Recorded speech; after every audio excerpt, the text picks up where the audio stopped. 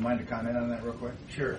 Um, relative to that gas tax increase, there is a resolution in the NOACA before NOACA, and it'll be voted on in the full board on Friday Okay. to support the congressional bill, which is a 15 cents a gallon gas tax increase. And so Well, that, that has not been voted on. no, no, it's going to be voted on. I This, mean, unlike what you wrote in the paper, you said it was voted on. It was not voted. On. It voted was on. voted on in the governance committee. It was voted, voted to on put and passed out on of the the, governance agenda. A little bit different than It's actually voted on and voted approved out of the on. governance committee. I have the record of that. Well, And it it's will not. be- You're, you're it'll wrong be- on that. It'll be take, okay, it's going to be taken to um, the board this Friday for The full consideration. board. What's that? The full board. The full board, right, that's what I'm saying. The full board this Friday to consider that resolution to approve it. Now, that's not voting for the gas tax, it's voting for the approval to support what Congress is doing to increase our gas tax by 15 cents a gallon. Well, there's a lot of people worth, against that. In my opinion, that is a tax on the poor and middle class most because they're the least that can afford it, and it will, if approved, will increase the cost of everything.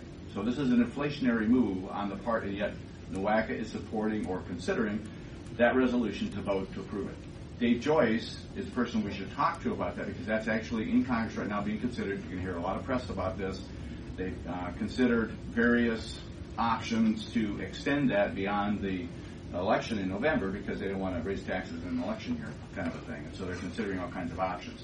But that's something that you can look into and talk to Dave about. If you don't agree with it, Dave is the person to talk to about that because you know we Well, should well, be voting to oppose it if you don't agree with the tax increase. And I only bring it up to make you aware that this Friday the NOACA board is voting and that will probably pass because the majority of the board, the board is in support of that gas tax increase.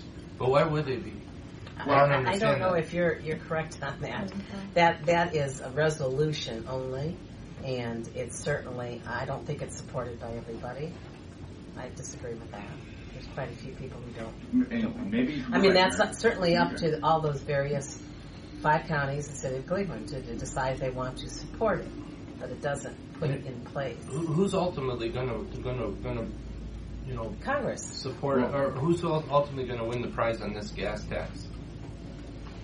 Well, What do you mean by those. Washington. prize? I, I understand it, but I'm ODOT saying, what's the advantage here? I mean, when is it? When is enough enough? When when do we? Well, here's here's the big question. If you talk to Joe Cattell, th- there and, and I uh, had a conversation yesterday with some folks in NOACA, representing NOACA. There has been no discussion about the shortfall. We're not talking about how much money is needed. There there is this all these proclamations that we need to raise more money because we have a shortfall. Well, what is the shortfall? Nobody's put, put a business a- case they- on the table to show what the shortfall is. And if there is a shortfall, let's and, and I don't believe that there is, but hypothetically, let's go with that and say that there is a shortfall. Is the best answer having a tax raised at the federal government or having a tax raised at the state level or at the local level?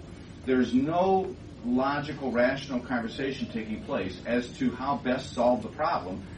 It is just this, you know, So would you we be have my- a problem and, and the, the problem is asset, there the has been government- an asset uh, document put together for NOAC for the five county regions for all the major roads and bridges, and there isn't enough money to handle it.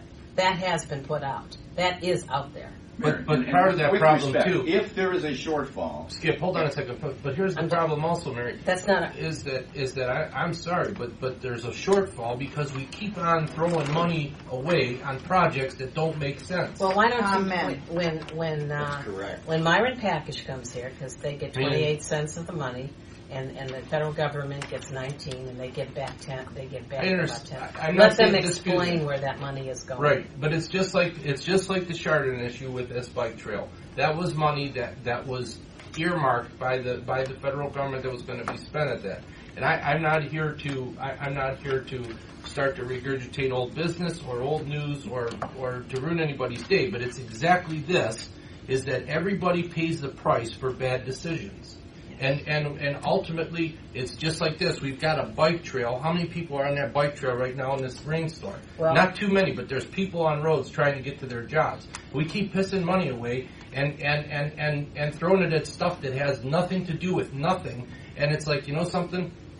We need to refocus on the stuff that's important. Not this, not this, not these frills right now. Well, you, You need know? to go to your federal Yeah, I say, legislators. uh, you need to go to Dave Joyce. You need to talk to your Well, federal here's the legislators. thing, though. Those you are the people who vote for that it. you you voted for that bike trail You too. bet. You wouldn't second my motion to go ahead to say no to Yeah. it. You know, so it just it comes down to is, is, is you're talking out of both sides of your mouth, and I'm not personally attacking you, but I'm very passionate about this because of the fact that it comes to the end of the day where we are running out of money to put Right. money where we need it, and we keep on having this feel good lifestyle that everybody needs to feel good about this or feel good about that. It comes down to basics. People need to focus on what's important, and it's just frustrating. So. Have you and the other part of that, what and you two laid bear- out, David? Okay, that's Two, two, I mean, two I I bears- have. I went down to NOACA and I tried to make a motion in front of the whole board to But basically. NOACA is not David. NOACA is not the I, I federal have. government. I, I have discussed this with them. okay, that's, that's all I'm I- I saying is The that amount of money that has been earmarked for bike trails and, and alternate paths of transportation, like buggy trails, buggy side, it, it's a small. It's about one percent of the cash. flow. It is a small portion. It's a very small portion. So when you're looking at that, the idea of Chardons was to produ to help their economic development for their city, to enhance their city, to bring in more businesses, and this is part of what they had wanted to do. They had sponsored that. We do not. We did not sponsor that program. It was sponsored by the city of Cleveland. the I understand, Mary. It just, it's just, it's a I snowball that just keeps on growing and growing. I mean, it goes from Wow. going from from them getting a huge grant for a bike trail to us basically giving a, a piece of property that was of who knows how much value for a dollar to you know losing how much money to the grant. It's like when does it stop? This county does not just have Chardon residents in it; it has everybody in it, and it's like it's just it's one of those deals where it's like we need to re we need to reclassify. We're county commissioners, not Chardon commissioners. We're we and, and, and we have to look out for the best interest of everybody in this county. You know, there's people in in Bainbridge. There's two two Thompson and Montville on the other end, and it's just it's frustrating and it's just it's hard. It's it's it's hard to to sit here and just listen to this stuff and and you know you get taxed another fifteen percent. What does that do? It only hurts businesses that much more because now your fuel taxes for shipments have go up. Your uh, across the board. What has gas increase done to America? It has killed killed commerce in America because of that. You know, so now we add a mandate another fifteen percent, and what is that going to do for businesses? It just